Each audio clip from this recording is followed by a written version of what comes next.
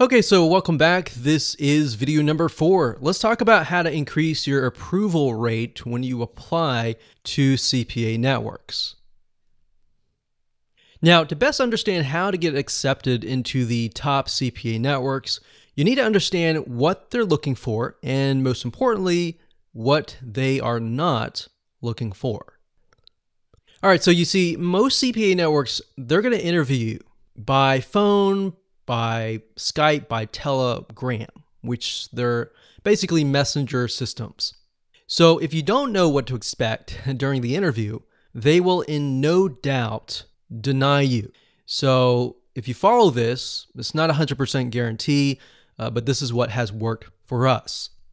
So here is the secret on how to get approved every single time. Like I said, no guarantee, but this is what has worked for us. In fact, this has helped us bypass the interview process. Now, what we found is that sometimes, even though we do this, some really good CPA networks that uh, they have really high quality offers and they just they got too many affiliates and they're what they're trying to do is they're trying to figure out the cream of the crop. So they want to know can you actually drive them leads or are you somebody who's just going to ask them a lot of questions and not running any ads? So here's the number one solution that we have found works. You need to show that you are a legitimate business that knows how to drive leads. So, how do we do that? Well, you can make sure that you have a website. We talked about you need to have a website, preferably something that's showing that you are a media buying agency, or in other words, you're somebody who goes out and you buy traffic or a digital marketing agency. So, like I said, you need to have a WordPress website that looks really professional. One way to go about doing this if you don't have one right now is to simply go on themeforest.net, find a digital agency website or a media buying agency website. Find one, and in fact, on themeforest.net is really neat but you can find a theme, you can pay somebody $50, and somebody will simply log into your website, they'll download the theme, they'll set everything up for you for 50 bucks. Then you can simply go in, you can edit the details with your information, or you can simply pay them a little bit more money to add the content in.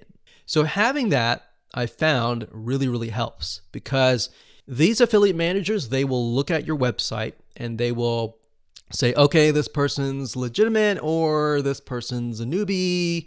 Which way should I go?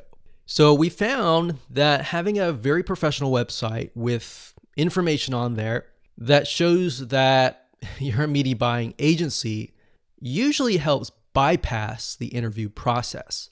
Now, once you have that in hand, you are closer to applying. So, in other words, I don't recommend that you apply before not having a website. All right. So you realize that CPA networks don't want to deal with people that are newbies.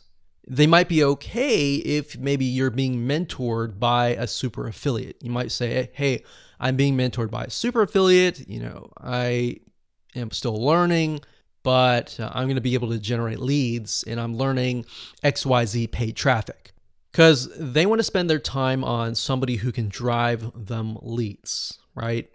So, just like you, you have a limited amount of time. You want to spend that time on quality, either people or something that is going to generate revenue for you.